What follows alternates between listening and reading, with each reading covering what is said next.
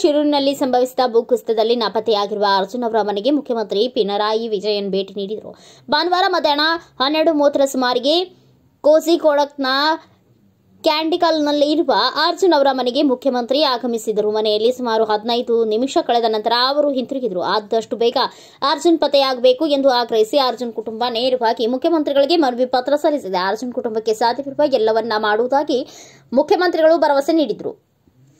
ಮುಖ್ಯಮಂತ್ರಿ ಬಂದಿದ್ದು ಸಮಾಧಾನ ಎಂದು ಅರ್ಜುನ ಕುಟುಂಬ ಪ್ರತಿಕ್ರಿಯಿಸಿದೆ.